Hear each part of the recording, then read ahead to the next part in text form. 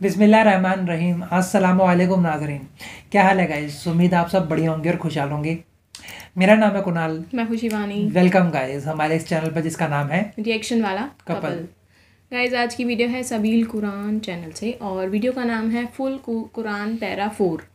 Urdu translation Quran Sharif Urdu Hindi translation तो guys मैं आपको बताना चाहूँगी कि इसके हमने पैरा थ्री तक पार्ट किए हैं। मतलब हमने सुना है और जिस तरह से ट्रांसलेशन होती है वो हमने देख करके सुनी है और हमारे पैरा थ्री तक हो चुके थे। तो आज से हम लोग कर रहे हैं para four part one part one हाँ। तो बेसिकली ये बहुत बड़ी वीडियो होती है बट हम इसको छोटा छोटा करके कवर करते हैं। दो या तीन पार्ट में कवर कर लेते हैं। हाँ। तो सुनते हैं guys the family of Imran Al Imran. So पारा फोर पार्ट वन। हूँ मैं अल्लाह की शैतान मरदूद से। शुरू नाम से अल्लाह के जो बड़ा मेहरबान निहायत रहम करने वाला है। तुम नेकी की मंजिल तक नहीं पहुँच सकते जब तक अपनी महबूब चीज़ों में से राय खुदा में इंफाक ना करो। और जो कुछ भी इन्फाक करोगे खुदा उससे बिल्कुल बाखबर है। बनी इसराइल के तमाम खाने हलाल थे सिवाय इसके, जिसे तौरेत के नाजिल होने से पहले इसराइल ने अपने ऊपर ममनू करार दे लिया था। अब तुम तौरेत को पढ़ो, अगर तुम अपने दावे में सच्चे हो। इसके बाद जो भी खुदा पर बुहतान रखेगा, उसका शुमार जालिमीन में होगा। पैगंबर, आप सल्लल्लाहु अलैहि वसल्लम, कह दीजिए कि खुदा सच्चा है। तुम सब मिल्लत इब्राहिम का इतबा करो। वो बातिल से किनारा कश थे और मुश्रिकीन में से नहीं थे। बेशक सबसे पहला मकान जो लोगों के लिए बनाया गया है, वो मक्का में है। मुबारक है और आलमीन के लिए मुजस्म हिदायत है। इसमें खुली हुई निशानियाँ मकाम इब्राहिम है और जो इसमें दाखिल हो जाएगा, वो महफूज हो जाएगा और अल्लाह के लिए लोगों पर इस घर का हज करना वाजिब है। अगर इस राह की इस्तात रखते हो और जो काफिर हो जाए तो खुदा तमाम आलमीन से बेनियाज है। ए अहले किताब, क्यों आयात इलाही का इनकार करते हो? जबकि खुदा तुम्हारे अमाल का गवाह है। कहिए, ए अहले किताब, क्यों साहिबान ईमान को राय खुदा से रोकते हो और इसमें कजी तलाश करते हो, जबकि तुम खुद इसकी सेहत के गवाह हो और अल्लाह तुम्हारे अमाल से गाफिल नहीं है। ए ईमान वालो, अगर तुमने अहले किताब के इस ग्रोह की अतात कर ली तो ये तुमको ईमान के बाद कुफ्र की तरफ़ पलटा देंगे और तुम लोग किस तरह काफिर हो जाओगे, जबकि तुम्हारे सामने आयात इलाही की तलावत हो रही है? और तुम्हारे दरमियान रसूल मौजूद है। और जो खुदा से वाबस्ता हो जाए, समझो कि इसे सीधे रास्ते की हिदायत कर दी गई। ईमान वालो, अल्लाह से इस तरह डरो, जो डरने का हक है। और खबरदार, उस वक्त तक ना मरना, जब तक मुसलमान ना हो जाओ। और अल्लाह की रस्सी को मजबूती से पकड़े रहो और आपस में तफरका ना पैदा करो। और अल्लाह की नेमत को याद करो, तुम आपस में दुश्मन थे। उसने तुम्हारे दिलों में उल्फत पैदा कर दी। तो तुम उसकी नेमत से भाई भाई बन गए और तुम जहन्नुम के किनारे पर थे। तो उसने तुम्हें निकाल लिया और अल्लाह इसी तरह अपनी आयतें बयान करता है कि शायद तुम हिदायत याफ्ता बन जाओ। और तुम में से एक ग्रोह को ऐसा होना चाहिए जो खैर की दावत दे, नेकियों का हुक्म दे, बुराइयों से मना करे और यही लोग निजात याफ्ता हैं। और खबरदार उन लोगों की तरह ना हो जाओ जिन्होंने तफरका पैदा किया और वाज निशानियों के आ जाने के बाद भी इख्तलाफ किया कि उनके लिए अजाब अजीम है। कयामत के दिन जब बास चेहरे सफ़ेद होंगे और बास स्याह, जिनके चेहरे स्याह होंगे, उनसे कहा जाएगा कि तुम ईमान के बाद क्यों काफिर हो गए थे? अब अपने कुफ्र की बिना पर अजाब का मज़ा चखो। और जिनके चेहरे सफ़ेद और रोशन होंगे, वो रहमत इलाही में हमेशा हमेशा रहेंगे। ये आयात इलाही है। जिनकी हम हक के साथ तिलावत कर रहे हैं और अल्लाह आलमीन के बारे में हर के जुल्म नहीं चाहता ज़मीन और आसमान में जो कुछ है, सब अल्लाह के लिए है और उसी की तरफ़ सारे उमूर की बाजगश्त है। तुम बेहतरीन उम्मत हो, जिसे लोगों के लिए मंजर आम पर लाया गया है। तुम लोगों को नेकियों का हुक्म देते हो और बुराइयों से रोकते हो और अल्लाह पर ईमान रखते हो और अगर अहले किताब भी ईमान ले आते इनके हक में बेहतर होता। लेकिन इनमें सिर्फ़ चंद मोमिनीन हैं और अक्सरियत फासिक है। ये तुमको अजियत के अलावा कोई नुकसान नहीं पहुँचा सकते। और अगर तुमसे जंग भी करेंगे तो मैदान छोड़कर भाग जाएँगे और फिर उनकी मदद भी ना की जाएगी। इन पर जिल्लत के निशान लगा दिए गए हैं। ये जहाँ भी रहेंगे, मगर ये कि खुदाई अहद या लोगों के माहदे की पनाह मिल जाए।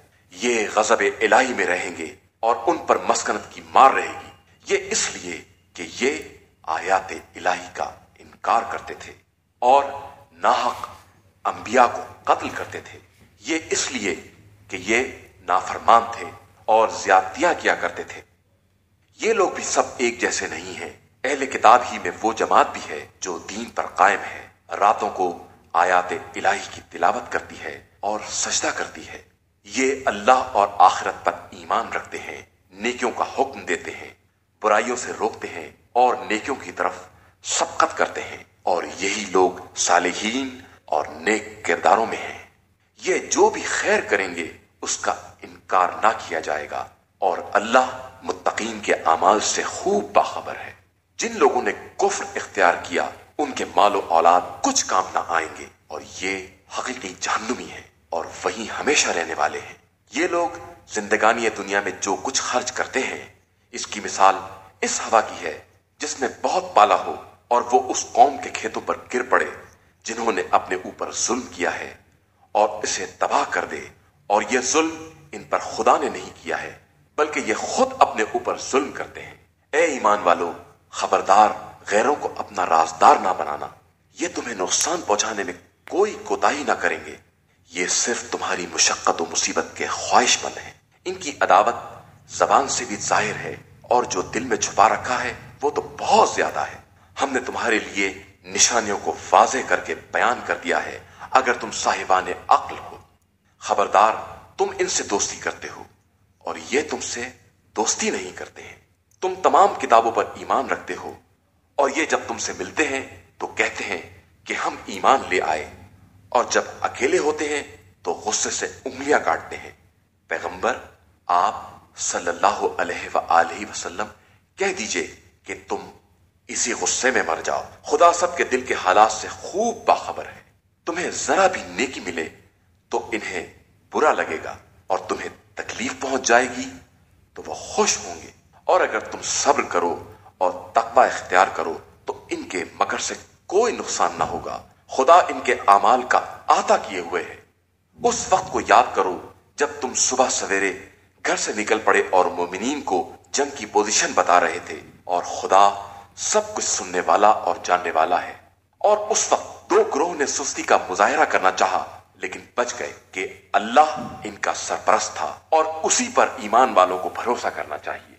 और अल्लाह ने बद्र में तुम्हारी मदद की है, जबकि तुम कमज़ोर थे, लिहाजा अल्लाह से डरो। शायद तुम शुक्रगुजार बन जाओ। उस वक्त जब आप सल्लल्लाहु अलैहि वसल्लम मोमिनीन से कह रहे थे कि क्या ये तुम्हारे लिए काफ़ी नहीं है कि खुदा तीन हज़ार फरिश्तों को नाजिल करके तुम्हारी मदद करे? यकीनन, अगर तुम सब्र करोगे और तकवा इख्तियार करोगे और दुश्मन फिलफौर तुम तक आ जाएँगे तो खुदा पाँच हज़ार फरिश्तों से तुम्हारी मदद करेगा, जिन पर बहादुरी के निशान लगे होंगे। और इस इमदाद को खुदा ने सिर्फ़ तुम्हारे लिए बशारत और इतमान कल्ब का सामान करार दिया है। वरना मदद तो हमेशा सिर्फ़ खुदाए अज़ीज़ हकीम ही की तरफ़ से होती है, ताकि कुफार के एक हिस्से को काट दे या इनको जलील कर दे कि वो रुसवा होकर पलट जाए। इन मामलात में आपका कोई हिस्सा नहीं है, चाहे खुदा तोबा कबूल करे या अजाब करे, ये सब बहरहाल जालिम है। और अल्लाह ही के लिए ज़मीन और आसमान की कुल कायनात है। वो जिसको चाहता है, बख्श देता है और जिस पर चाहता है, अजाब करता है, वो गफूर भी है और रहीम भी है। ए ईमान वालो, ये दुगना चौगना सूद ना खाओ और अल्लाह से डरो कि शायद निजात पा जाओ। और उस आग से बचो जो काफिरों के वास्ते मुहैया की गई है और अल्लाह और रसूल की अतात करो कि शायद रहम के काबिल हो जाओ। और अपने परवरदिगार की मगफिरत और इस जन्नत की तरफ़ सबकत करो। जिसकी वसत ज़मीन और आसमान के बराबर है, और उसे इन साहिबान तकवा के लिए मुहैया किया गया है, जो राहत और सख्ती हर हाल में इन्फाक करते हैं और गुस्से को पी जाते हैं और लोगों को माफ़ करने वाले हैं और खुदा एहसान करने वालों को दोस्त रखता है। वो लोग वो हैं कि जब कोई नुमाया गुनाह करते हैं या अपने नफ्स पर जुल्म करते हैं तो खुदा को याद करके अपने गुनाहों पर इस्तफार करते हैं। और खुदा के अलावा कौन गुनाहों को माफ़ करने वाला है? और वो अपने किए पर जानबूझकर इसरार नहीं करते। यही वो लोग हैं जिनकी जजा मगफिरत है और वो जन्नत है जिसके नीचे नहरें जारी हैं। वो इसी में हमेशा रहने वाले हैं और अमल करने की ये जजा बेहतरीन जजा है। तुमसे पहले मिसालें गुजर चुकी हैं, अब तुम ज़मीन में सैर करो और देखो कि झुटलाने वालों का क्या अंजाम होता है। ये आम इंसानों के लिए एक बयान हकायक है। और साहिबान तकवा के लिए हिदायत और नसीहत है। खबरदार, सुस्ती ना करना, मसाइब पर महसून ना होना। अगर तुम साहिब ईमान हो तो सर बुलंदी तुम्हारे ही लिए। और अगर तुम्हें कोई तकलीफ़ छू लेती है तो कौम को इससे पहले ऐसी ही तकलीफ़ हो चुकी है। और हम तो जमाने को लोगों के दरमियान उलटते पलटते रहते हैं, ताकि खुदा साहिबान ईमान को देख ले और तुम में से बास को शोदा करार दे। और वो जालिमीन को दोस्त नहीं रखता है। और खुदा साहिबान ईमान को छांट कर अलग करना चाहता था और काफिरों को मिटा देना चाहता था। क्या तुम्हारा यह ख्याल है कि तुम जन्नत में यूँ ही दाखिल हो जाओगे, जबकि खुदा ने तुम में से जहाद करने वालों और सब्र करने वालों को भी ना जाना? तुम मौत की मुलाकात से पहले उसकी बहुत तमन्ना किया करते थे और जैसे ही उसे देखा, देखते ही रह गए। और मोहम्मद सल्लल्लाहु अलैहि वसल्लम तो सिर्फ़ एक रसूल हैं। जिनसे पहले बहुत से रसूल गुजर चुके हैं। क्या अगर वो मर जाए या कत्ल हो जाए तो तुम उल्टे पैरों पलट जाओगे। तो जो भी ऐसा करेगा, वो खुदा का कोई नुकसान नहीं करेगा, और खुदा तो अनकरीब शुक्रगुजारों को इनकी जजा देगा। कोई नफ्स भी इसने परवरदिगार के बगैर नहीं मर सकता। सबकी एक अजल और मुद्दत मुयन है, और जो दुनिया ही में बदला चाहेगा, हम उसे वो देंगे। और जो आखिरत का सवाब चाहेगा हम उसे उसमें से अदा कर देंगे और हम अनकरीब शुक्रगुजारों को जजा देंगे। हाँ जी। तो आ, वैसे कुरान जब से हमने स्टार्ट करी है तब से लेके अब तक मोस्टली इसी बारे में बताया गया है कि अल्लाह के ऊपर जो ईमान लाएगा उसके साथ क्या होगा और जो अल्लाह के ऊपर ईमान नहीं लाएगा उसके साथ क्या होगा और जो अल्लाह के ऊपर ईमान लाने के बाद मतलब पलट जाएँगे या बोलेंगे कि हमारा अल्लाह पे ईमान है लेकिन वो करेंगे कुछ और। तो उनके साथ क्या होगा? तो अभी तक यही चलता है और इसमें ना स्टार्टिंग में भी और अभी भी एक किताब का ज़िक्र हुआ है तो रात हम्म। तो, तो रात पहले पहले की बुक थी तो रात हम्म। हाँ। तो वो कौन सी बुक थी? वो भी आसमानी बुक थी या फिर कि, किसने नाजिल किया वो जहाँ तक मेरे को आइडिया ना तो रात जो है वो इस्लाम में नहीं आई वो हम्म। या तो जूस में आई है या क्रिश्चियन में आई है। इन दोनों में से कहीं वो बुक आई है। अच्छा। तो रात हाँ।, हाँ। और जो कहते हैं कि जो पहले मैसेंजर जो आए हुए हैं ना वो या तो जूस में आए हैं या फिर आ, उसमें आए हैं। क्रिश्चियन में। आए हैं। अच्छा। हाँ। मतलब कि ज़्यादातर जितने ज़्यादातर। सारे नहीं कह रहा मैं ज़्यादातर कह रहा हाँ। अच्छा। हम्म। ठीक है। और ना एक और पॉइंट था मेरे दिमाग में एक एक वो वाक्य नहीं हुआ था जब मोहम्मद सल्लल्लाहु अलैहि वसल्लम जब वो जा रहे थे जब हाँ। अपने चचा के साथ वो हम्म। कहीं जा रहे थे शाम जा, जा रहे थे व्यापार हम्म, के हम्म, लिए तो चर्च के पास एक बंदा था हाँ। जो चर्च का पादरी था। तो वहाँ पर वो बंदा कह रहा था कि हमारी आसमानी किताब पे लिखा हुआ था कि एक ऐसा बंदा आएगा जिसके सर के ऊपर बादल हाँ। उसे फॉलो कर रहा होगा। हाँ, हाँ, तो उन्होंने वहाँ पर कहा था और वो क्रिश्चियन थे। कहता हमारी आसमानी किताब में ये लिखा हुआ था कि ऐसा होगा। अच्छा। हम्म। हाँ तो उन्होंने ये भी कहा था साथ में कि आप इनको यहाँ से ले जाओ और इनके ऊपर मतलब जो भी करेंगे लोग इनके ज़्यादातर खिलाफ होंगे। हम्म। है ना? हम्म। तो और और क्या बोल रही थी मैं? हाँ और जिन जिन का ज़्यादा से ज़्यादा जिक, ज़िक्र हुआ है कि मतलब ये एक बार बात बताइएगा गाइस इसमें लिखा हुआ था कि जो नबियों को भी मार दिया जाता था। तो ऐसे कौन लोग थे कि नबी को भी मार देते थे? उस टाइम का समाज उस टाइम का वो जैसे अब हज़रत आले सलाम क्या नाम था उनका? ईसा। हाँ। हज़रत ईसा। हम्म, अब हम्म। उनके भी हाथ और पैर पे कहते हैं वो कीले ठोक ठोक दी थी। हम्म, तो लोग तो फिर उस टाइम के ज़माने के होते ही होंगे हाँ। ऐसा होता है ना कि जो बंदा अलग से हट के बात करता ना हम्म। उसके खिलाफ हो जाते हैं हाँ। अगर पूरा समाज एक तरफ़ चल रहा है और आप कुछ हट के बात कर रहे हो हम्म। भले ही आपकी बात सच है झूठा फ़र्क नहीं पड़ता अगर कुछ आप हट के कर रहे हो तो आपके खिलाफ हो जाएँगे हम्म। आप एग्ज़ाम्पल लो कि लियोनार्डो दा विंची टाइप ले लो या जो इन उन्होंने जो उस टाइम जो क्रिएटिविटी की थी अपने एज से हट के चीज़ें कर दी थी हम्म हम्म तो इनका किनारा कर दिया कि नहीं भाई इनको अलग करो समाज से क्योंकि इनकी सोच अलग है। तो हमारा समाज भी ऐसा जो सोच नहीं अप- अपना सकता। हम्म। किसी की अगर सोच गलत है तो फिर सोच अगर अलग है ना तो उसे कहते हैं कि तुम गलत ही हो भले वो सही हो उसे कहते हैं तुम गलत ही हो। हम्म। और उसके सौ दुश्मन अलग से खड़े हो जाते बिल्कुल। इतनी सी बात होने पर। हम्म, हालाँकि उनकी बात उनको पता नहीं होता कि वो चीज़ें सच्ची है या कोई ना कोई रीज़न होगा उनकी ऐसी सोच पर। लेकिन उनको बस अपने अपने आप को समझ समझाना है कि नहीं ये कुछ नहीं है हमारे सामने हम ये गलत कर रहे हैं बिल्कुल बिल्कुल ये हाँ बिल्कुल सही बात है। हाँ। तो एक इसमें वो मक्का के बारे में बताया गया है कि सबसे पहले जो घर बना या सबसे अच्छा घर जो बना वो मक्का में ही था। वो चीज़ बताई गई काबा शरीफ के बारे में बताया गया सूद के बारे में बताया गया हाँ। और सूद के जो सूद लेता है उसका क्या अंजाम होगा वो सब चीज़ें बताई गई। हम्म, और ये भी बताया कि अब लोग आपको भड़काएँगे मतलब इस चीज़ से से अलग बातें करेंगे तो आप उस उनके उनकी बात सुन के उनका वे नहीं अपनाना। मतलब जो आपने ऑलरेडी ईमान लाया हुआ है उसी पे ही कायम रहना। हालाँकि ये तो उस टाइम नहीं आजकल के टाइम में भी ऐसा होता है लोग आपको भड़काते हैं। हाँ।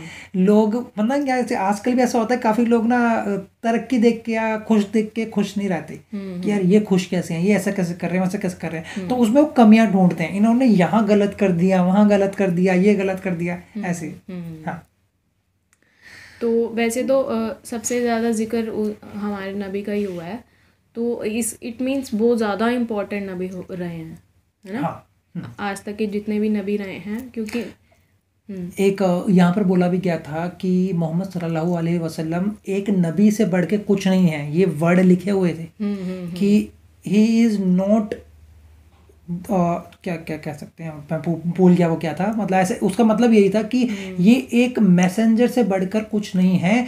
अगर इनका कत्ल हो जाता है या इनको मार दिया जाता है इसका मतलब ये नहीं कि आप ये सब चीज़ें करना छोड़ देंगे ऑफकोर्स वहाँ कुछ अलग वे में लिखा था बट उसका मतलब यही था मतलब ये था। कि अगर उनको कुछ हो जाता है इन फ्यूचर तो ऐसा नहीं है कि आप पलट जाओगे। हम्म। आप किसी और चीज़ से यहाँ पर आए हो आपने पूरा नमाज़ पढ़ने का सिस्टम या सब या जो भी ये पूरा सिस्टम आप फॉलो करते हो तो अगर जो बंदा बता रहा है कल को वो क्योंकि हर बंदा ना इस लाइफ में एक लिमिटेड टाइम के लिए आता है। कोई भी हो भले नबी हो आप हो हम हो हम ज़िंदा हुए हैं पैदा हुए हैं तो अस्सी नब्बे हद सौ साल बाद हमने मरना ही मरना है। ठीक है तो वो तो सच्चाई है। तो हम जाएँगे तो फिर नबी को भी जाना पड़ेगा हर किसी को जाना पड़ेगा। बिल्कुल। तो इसका मतलब ये था कि अगर कल को नबी चले जाते हैं तो इसका मतलब ये नहीं कि आप उल्टा रिवर्स घूम जाओगे एकदम पीछे कि नहीं भाई जो हमें बताता था वो चला गया अब अब छोड़ो। तो ये नहीं। होना चाहिए ये मेंशन क्लियरली मेंशन है क्लियरली हम्म। मतलब जिस जिस तरह से ये होता है ना कि आप आपके हम्म, दादा परदादा परदादा होते हैं तो आपके दादा उनके परदादा को फॉलो करते हैं। तो फिर आपके फादर अपने दादा को फॉलो करते हैं फिर आप अपने फादर को फॉलो करते हैं। तो इसी तरह से फादर मान कर के नबी को फॉलो करते रहे। नबी को तो फॉलो ही है तो नबी चौदह सौ साल पहले आए और चले भी गए बट अभी तक उनका नाम क्यों है? क्यों? क्योंकि कुछ बात थी जो लिखा है वो मौसूदा के सच है काफ़ी चीज़ें सच हैं। हाँ। जो जो चीज़ें बताई हैं काफ़ी केस में सच हैं तो अभी इतने सारे इतने लाखों करोड़ों अरबों बिलीवर हैं। तो उनके थ्रू उनका नाम अभी तक ज़िंदा है और आने वाले कहीं क्या दशकों क्या सालों लाखों करोड़ों साल जितने भी साल तक इंसानियत रहेगी उनका नाम ज़िंदा ही रहेगा। हम्म बिल्कुल। तो चलते हैं गाइस सबील कुरान से थी ये वीडियो और हमारे से कुछ गलती मतलब जो हमें नहीं समझ आ रहा हो तो आप हमें कमेंट सेक्शन में बता सकते हैं कि क्या कहाँ हमने सही बोला या गलत बोला। तो चलते हैं गाइस आप सबील कुरान चैनल को करिएगा सब्सक्राइब इनके चैनल का लिंक और वीडियो का लिंक डिस्क्रिप्शन में होगा। और साथ ही हमारे चैनल को भी सब्सक्राइब करिए। अगर आपको वीडियो अच्छा लगे तो लाइक कीजिए कमेंट्स कीजिए और शेयर ज़रूर करिए। तो मिलेंगे आपसे अगले पार्ट में तब तक के लिए अल्लाह हाफिज़।